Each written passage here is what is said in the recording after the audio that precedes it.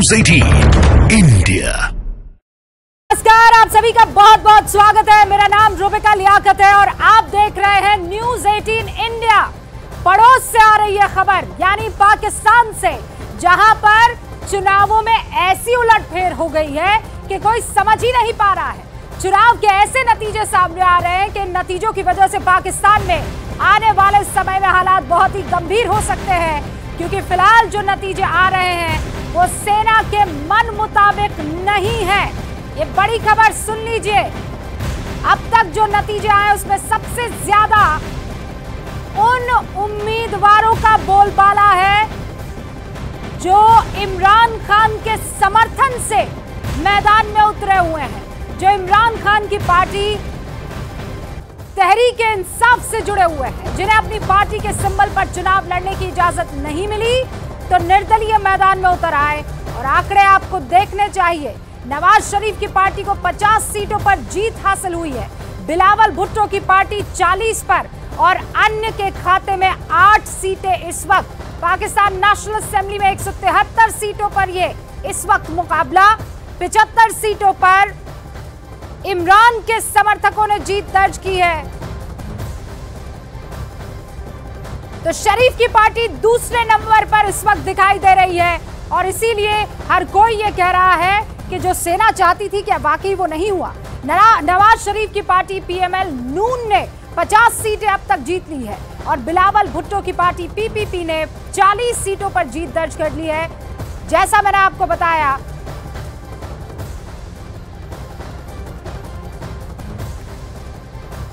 ये तीन तस्वीरें टेलीविज़न स्क्रीन पर आपके सामने, हालाँकि जो तीसरी तस्वीर है, उसमें आपको तौकीर रजा नज़र आ रहे हैं।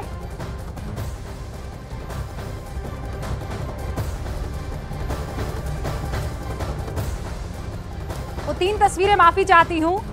दो तस्वीरें पाकिस्तान से थी, और इस वक्त आप देख रहे हैं कि हिंदुस्तान में भी चाहे वो हल्द्वानी हो, चाहे वो उत्तर प्रदेश में बुलडोजर का एक्शन हो तोकीर रजा बार बार ये कह रहे हैं कि मैं गिरफ्तारी दूँगा, उस बड़ी खबर पर हम जाएँगे, लेकिन फ़िलहाल आपके सामने जो पाकिस्तान से जुड़ी हुई खबर आ रही है, वो यही है कि वहाँ बहुत बड़ा खेला हो गया है। पाकिस्तान नेशनल असेंबली में इस वक्त अगर सबसे ज़्यादा जीत का परचम लहराता हुआ कोई चेहरा नज़र आ रहा है तो वो इंडिपेंडेंट कैंडिडेट्स हैं जो समर्थन लिए हुए हैं इमरान खान का।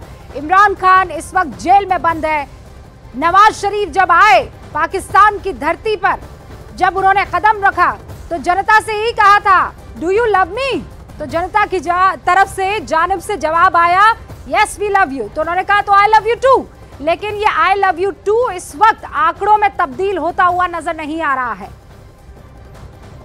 हमारे साथ रक्षा विशेषज्ञ colonel R S N Singh साहब जुड़ चुके हैं और पाकिस्तान से राजनीतिक विश्लेषक कमर चीमा इस वक्त। इस्लामाबाद से हमारे साथ जुड़ चुके हैं। आप दोनों का बहुत बहुत स्वागत है।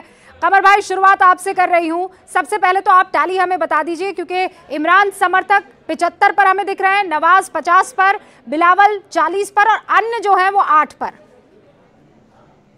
जी, बहुत शुक्रिया। देखिए, ये बिल्कुल इसी वक्त जो आप बात कर रही हैं ठीक है, कोई पचहत्तर के करीब पाकिस्तान तहरीक इंसाफ है, पचास के से ज़्यादा मुस्लिम लीग नवाज़ है और 40 के करीब जो है वो पीपल्स पार्टी है।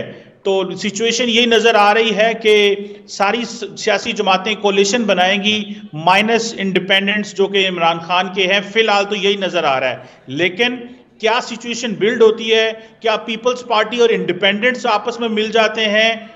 क्या बनता है आगे आने वाले दिनों में? ये भी चीज़ें देखने की हैं। लेकिन ये कंफर्म नहीं है अभी तक जी। ओके okay, आप ये कह रहे हैं कि बाकी सब एक तरफ़ है और इमरान खान एक तरफ़ नज़र आ रहे हैं है ना? लगता तो यही है लगता तो यही है। ओके okay, इसका मतलब ये कि जो कहा जा रहा था कि सेना चाहती है कि नवाज़ शरीफ एक बार कुर्सी पर काबिज हो जाए वो होता हुआ अभी नहीं दिख रहा है। नहीं अवाम ने उनको इतने वोट ही नहीं दिए। वो सिर्फ़ 50 सीटें अभी तक जीत चुके हैं। गो के अभी सौ से ज़्यादा हलकों के रिज़ल्ट आने हैं तकरीबन। हम्म। तकरीबन सौ के करीब जो रिज़ल्ट हैं वो आने हैं। सो जो सौ सीटों के रिज़ल्ट आते हैं उस पर पीएमएलएन कितनी सीट्स ले सकती है? 20, 25, 30, 40 कितनी लेती है? और इंडिपेंडेंट्स जो कि तहरीक इंसाफ के हैं वो कितने बनते हैं? ये जो सौ पोलिंग स्टेशन है हाँ। उसका रिज़ल्ट आने के बाद पता चलेगा। अभी तो अभी रिज़ल्ट पूरे नहीं आए। मेरा ख्याल अगले दो घंटे में आ जाने चाहिए मैक्सिमम ओके कर्नल आरएसएन भी हमारे साथ जुड़े हुए हैं। कर्नल सिंह ये हुआ क्या है? मतलब तस्वीर दिख रही थी कुछ और निकल गया कुछ और। अब आएगा आगे क्या? कोई नहीं जानता है।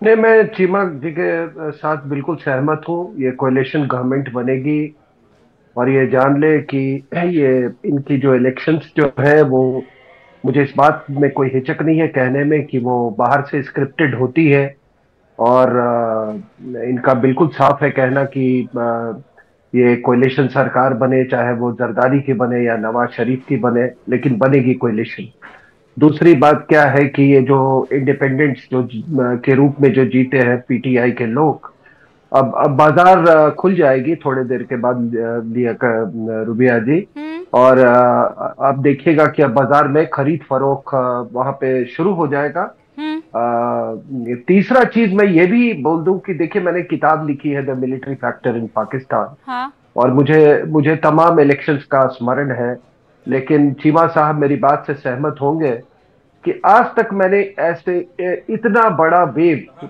जब मैं रिलेटिव टर्म्स में बात कर रहा हूँ हाँ। किसी एक लीडर के फेवर में मैंने नहीं देखा है जितना अभी इमरान खान के मैंने फेवर में ओके कर्नल सिंह रोक रही हूँ आपको। इसी इसी इसी मसले को आगे लेकर जा रही हूँ कि किताब भी लिखी है लेकिन ऐसी वेव कमर भाई मतलब किसी नेता के लिए पाकिस्तान में नज़र नहीं आई है। इनफैक्ट कहते हैं कि अगर सेना चाह ले तो पत्ता नहीं हिलेगा, लेकिन यहाँ पर मानना पड़ेगा कि इमरान ने वो सब झूठ साबित कर लिया। देखिए जी, इसमें कोई शक नहीं है, इमरान खान का जो नैरेटिव है, जो बयानिया है, वो इंतहाई पॉपुलर है। और जैसे मैंने पहले कहा कि उनका नैरेटिव एंटी स्टैब्लिशमेंट है एंटी यूएस है, और रिलीजियस नेशनलिज्म की वो बात करते हैं और वो इन चीज़ों की जो बात करते हैं, लोगों ने ये चीज़ें बाय की हैं और पाकिस्तान के अंदर एक तासुर है इस हवाले से जो मजहबी सियासी जमातें थी, उन्होंने एक माहौल बनाया हुआ है एंटी वेस्ट और इस तरह की चीज़ों का। सो इमरान खान ने उसको कैश किया है। नॉर्मली अगर देखा जाए तो पाकिस्तानी लोगों ने इमरान खान को इसलिए वोट नहीं किया कि उन्होंने बड़े डेवलपमेंट के काम किए हैं या वो बड़ा कोई हिस्टोरिकली पाकिस्तान की इकोनॉमी को रिफॉर्म कर पड़े हैं। लोग उनको वोट इसलिए दे रहे हैं सिर्फ़ उनकी बातों की वजह से। सो पाकिस्तान की जो अवाम की जो अंडरस्टैंडिंग है वो और है और जो पाकिस्तान की जो स्टेट की नीड्स है वो बिल्कुल डिफरेंट है। सो ये बिल्कुल डायकोटमी चल रही है मुल्क के अंदर कि हमने जाना किस तरफ़ है और हमें चाहिए क्या। सो लेकिन ये but, मानना पड़ेगा कि बड़ी ये ये बात तो आपसे बेहतर कोई नहीं जानेगा। हम तो दूर से देखने वाले लोग हैं। कि डेवलपमेंट की बात कैसे करें? पहले इतना जो गड्ढा यहाँ पर खोदा गया है पहले वो तो भर देना आदमी। उसके बाद आप पुल की बात करेंगे ब्रिज की बात करेंगे सड़क की बात करेंगे अभी तो गड्ढे में है पूरी की पूरी जमहूरियत। और ये आ, मुझे आपको बताने की ज़रूरत नहीं है। आप खुद ये मानते हैं कि वहाँ हर बार जनरल इलेक्शंस रिग्ड होते हैं हर बार वहाँ पे हालात जो ऐसे होते हैं कि आम जो आवाम है उसके साथ धोखा होता है। तो ऐसे में अगर इमरान को पसंद कर रहे हैं तो कोई भरोसा तो होगा? क्या वो भरोसा है? देखिए बात ये नहीं है कि देखिए हर दफ़ा जब इमरान खान ऑपोजिशन में होते हैं तो वो कहते हैं जी दूसरों ने इलेक्शन चोरी किए।